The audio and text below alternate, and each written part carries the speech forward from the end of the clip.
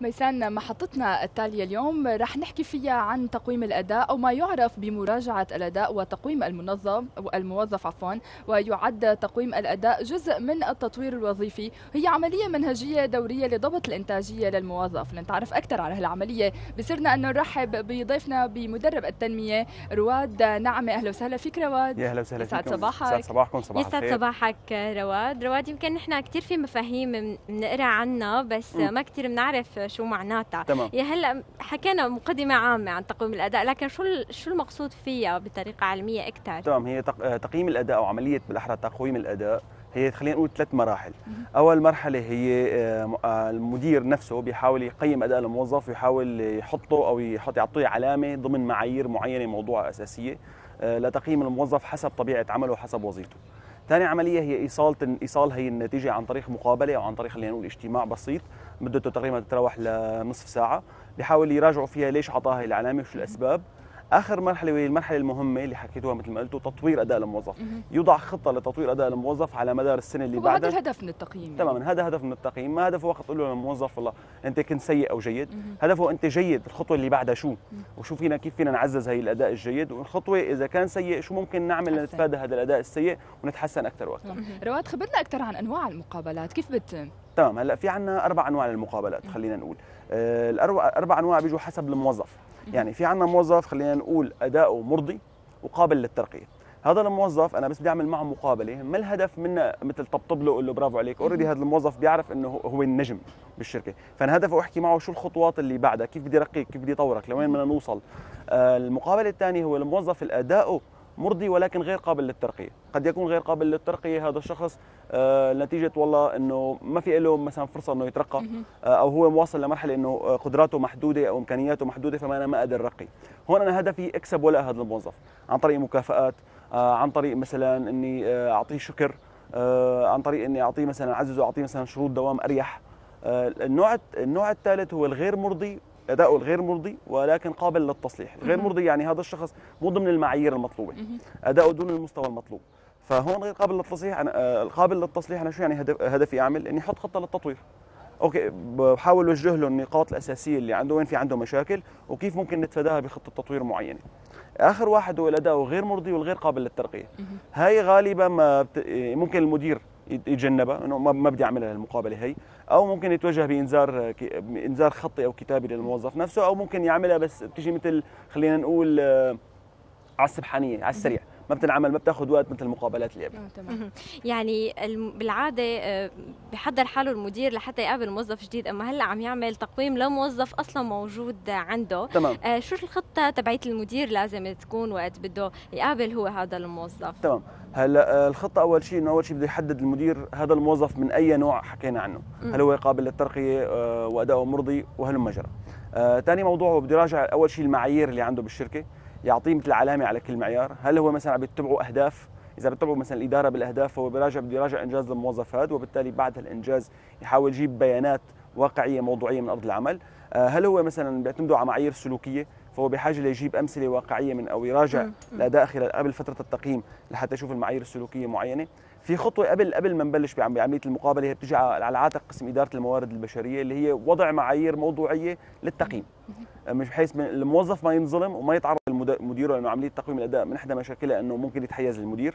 آه، ثاني شيء معايير تكون لها علاقة بالعمل نفسها فهي بتصير عملية التعاون بين رؤساء الأقسام وقسم موارد البشرية لوضع هي المعايير. طيب رواد كل إمتى يفترض إنه يصير تقييم للموظفين؟ وفي حال صار أي طارئ للشركة أو المؤسسة كيف بيقدر كمان يتعامل مع المدير؟ هلا بحسب حسب طبيعة عمل الشركة وحسب ما بتختار الإدارة.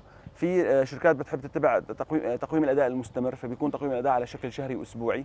وهذا بيح... آه، صار فيها نتيجة وسائل تكنولوجية معينة مثل برامج العلاقة بإدارة المشاريع سهلت على المدير يتابع أداء موظفينه في برامج ت... في شركات بتقول لك إنه كل فترة ربعية وهي فترة جيدة أو نصف سنوية أو سنوية. هلأ الشيء الطارئ في المدير يعمل تقويم أداء بشكل طارئ خاصة في حال شاف سلوك غير مرغوب أو أداء غير مرغوب من الموظف هون ساعتها على المدير ضروري يتدخل بوقتها ويعطيه التقييم الخ- الخاص بأدائه كيف مطلوب وكيف ممكن يتفادى هذا الشيء بسريع خاصة إذا ما بده الموضوع يتفاقم أكثر يعني هي بتصفي مثل كرة الثلج إذا مثلا. تركتها خلص تكبر تكبر تكبر لآخر شيء توصل لعندي أزمة لازم يكون في وقت محدد آه، بكل سنة مثلا كل شركة بتحدد وقت التقويم آه، تبع أو التقييم تمام. اللي لازم يكون ولازم يحضر حاله الموظف لهذا التقييم أكيد أكيد. هلأ آه، التقويم هذا بيكون مثلا خلينا نقول إذا فترة سنوية فهو غالبا بيكون بشهر واحد أو بأواخر شهر واحد فهون على قسم الموارد البشرية يبعث خلينا نقول مثل آه، شيء خطي مكتوب قد يكون إيميل أو قد يكون كتاب لكل الموظفين قبل بأسبوعين على الأقل أقل شيء لحتى يحضروا حالهم هن إنه في عنا عملية تقويم أداء لأنه هي عملية غير مرغوبة يعني حتى نعم. الموظف آه، بيهكى الهم. المدير بيهكى الهم يعملها. فضروري نحن نع- نعمل هذا الموضوع لحتى الموظف أول شيء يحضر حاله لأن هي عملية ما حتصير عملية المقابلة والله فرد لفرد عم نحكي مثل ما نحن عم نتشاور هون نتحدث حتصير في تشاور فالموظف بده يكون محضر حاله جاهز خلينا نقول بحججه أو براهينه معينة ونفس الشيء المدير بده يكون مجهز البيانات تبعه الواقعيه لحتى يفوت على مقابله تقييم الأداء بشكل واقعي. يعني وحتى قبل لازم كمان الموظف يكون عارفان على أي أساس حيتقيم. مشان مشان حتى يفوت هو جاهز محضر حاله نفسيا رح يحكي معي بالمحاور التالية كيف المدير. يعني على أي أساس؟ يعني آه، آه، أنا مثلا موظف آه، مبيعات. هل أتحاسب على تحقيق اهدافي بالمبيعات؟ نعم. أو أتحاسب على عدد الشكاوي اللي بتوصل علي؟ أنا موظف مثلا إدارة موارد بشرية. هل احاسب على مدى انضباطي بتطبيق الأنظمة؟ هل احاسب على على على مدى حسن تواصلي مع الأقسام الثانية هدول معايير بنسميهم بتقييم الأداء. أنا كموظف لازم أعرفهم ومديري لازم يعرفهم مشان نقدر نتحاور فيهم. يمكن كمان رواد آه، هو الموضوع مثل ما ذكرت ما كتير محبب للموظف لكن حتى الموظف بهمه يعرف إنه هو وين وصل بأدائه قديش هو فعال. يمكن بيكون عايش بروتين معين ما عاد يعرف حاله قديش هو عم يعطي. صحيح 100% آه، بنفس الوقت هو كمان حابب يعرف حاله إنه وين وصل متراجع ولا متطور؟ تماما تماما. عند الموظف في في عندك موظفين بتكون تفكر حالها إنه أنا والله أدائي مرضي ورائع جدا. تفاجئ إنه هي على المعيار أو على الاهداف على المصاعيد الأهداف اللي حاطين لهم إياها هو أداؤه متراجع لورا. فهو بحاجة لحتى يعرف هذا الموضوع. أحيانا العكس قد يكون موظف مثلا آه، بحكي عدة شخصيات. في شخصيات من الموظفين عندهم نظرة سلبية لحالهم. أنا أدائي سيء.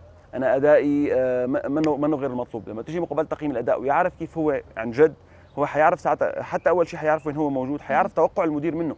يعني المدير بيكون حاطط نظرة معينة لأدائه كيف لازم يكون أو سلوكه كيف لازم يكون أثناء العمل وبالتالي بيعرفه بشكل واقعي.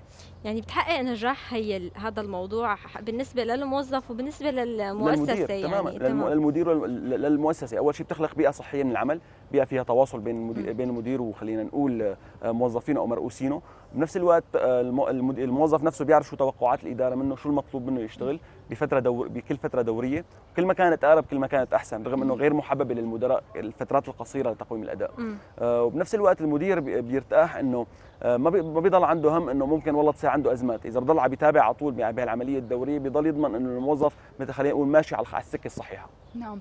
آه كمان يعني من بعد ما يتم تقييم الموظفين ذكرت لنا إنه يا إما ممكن يتحسن أدائهم ويتكافئوا يمكن على هالأداء مم. الجيد يا إما إذا كانت نتيجتهم شوي ما منيحة ممكن يتم اعطائهم يمكن دورات معينة لحتى يتطوروا أكثر هلأ. هون بقى دور المدير كيف لازم يتخذ هالخطوات اللازمة للموظف؟ يعني ممكن يستغني عن الموظف خاصة إذا في كان عدد كبير من الموظفين يلي عاشوا بفترة روتينية ضمن العمل وما عم بيتطوروا ممكن ينعمل كورسات لحتى يتطوروا أكثر هالموظفين أو ممكن إنه يتم الاستغناء عنهم. هلأ بنيجي حسب موضوع موضوع تقييم الأداء إذا أنا عم- عملت عدة مثلا أنا عملت عدة فترات وكان أداء الموظف غير مرضي مم. أنا ساعتها مرة تنتين ثلاثة بعد الإنذار مهم. الأول والإنذار الثاني والعقوبات ساعتها بضطر افصله حسب قانون العمل نعم أما إذا أنا مثلا هذا الموظف أول مرة غلط فممكن أتبع مثلا أساليب تدريب معينة مم. قد أحط له جلسات تدريب فردية قد أحطه بدورات قد أحطه بتدريب عملي قد مهم. أعمل له تدوير وظيفي تدوير وظيفي يعني أنا أحط يتغير هو مكانه تمام يتغير مكان مم. عمله من مكان لمكان آه قد أبعته مثلا محاضرات خارجية قد قد أدمجه بفرق عمل ثانية خليه يكتسب منها خبرة جديدة يكسر الروتين بدي أعرف أنا شو الخلل عنده هذا الشخص من الخلل ساعتها بقدر أقترح حلول لهيك صارت الشركات تعمل شيء إنه يكون بمقابله تقييم الأداء مو بس المدير والموظف يكون في طرف ثالث بس. هذا الطرف خلينا نقول حيادي وصامت. موظف. موظف إدارة الموارد البشرية حدا من قسم إدارة الموارد البشرية يكون موجود ليقدر مو يبدع حلول قد ما هو يقدر يعطي وسائل فعالة أكثر. يمكن يستثمر الشيء ال- ال- اللي بيحبه هذا الموظف. يعني تماماً. ممكن مثل ما قلت حضرتك إنه ينقله من مكان لمكان يعني كمان هي حل. اعطيكي مثال مثلا إحدى الأشخاص اللي بعرفه هو ما بيحب يتعلم آه، بضمن جو تدريبي ما بيحب العمل الجماعي. ومن طبيعة عمله هو نوعا ما انعزالي. فوقت اجينا بدنا نعمل له خطة تطوير. كان معظم المدير حطه بالكورس الفلاني يعمل له كذا حطه بالفريق الفلاني. إنه أنا قلت له هدي شوي خلينا نوقف. هذا الشخص آه هذا الشخص خلي, خلي بقلب المقابله ما حاولت اوجه له انتقاد شخصي. قلت له خلينا نحطه بكورسات أونلاين. وهو انبسط. كورسات أونلاين. لأنه التعليم ذاتي تعلم عن طريقه. صرنا. صرنا ننصحه بكتب ننصحه بمقالات معينة. آه، أداؤه فرق بعد بالفترة التقييم اللي بعدها. حتى المدير قدر يلمس آه، يلمس فرق بأدائه. التأخير عن الدوام صار شيء آه، شبه شبه معدوم. تسليمه للتقارير بموعدها صار موجود. نسبة الدقة عنده صارت عالية بتقاريره. استخدامه للبرامج الكمبيوتر اللي كانت مطلوبة اللي كان عنده فيه مشكلة فيها مثلا كان يقول له أعطيني التقرير المعين يسرد عليه شيء ساعتين.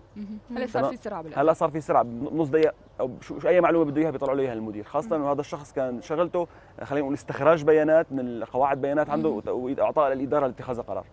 يعني كثير مهمة هالمرحلة رواد وهالتقييم بكل المؤسسات وبكل تماماً. الشركات وأيضا بكل آه، يمكن حتى وسائل الإعلام وأيضا آه، كافة القطاعات. مهم كثير تقييم 100% الأداء. نحن بدنا نشكرك كثير على هالمعلومات اللي أعطيتنا إياها اليوم وإن شاء الله أكيد يتم الاستفادة منها لكل يلي عم يتابعنا وبهمه هذا الموضوع. شكرا لكم شكرا لوقتكم نشكر المشاهدين على الحضور بنتمنى نكون فدناهم. شكرا كثير لك وللمعلومات اللي أعطيتنا إياها.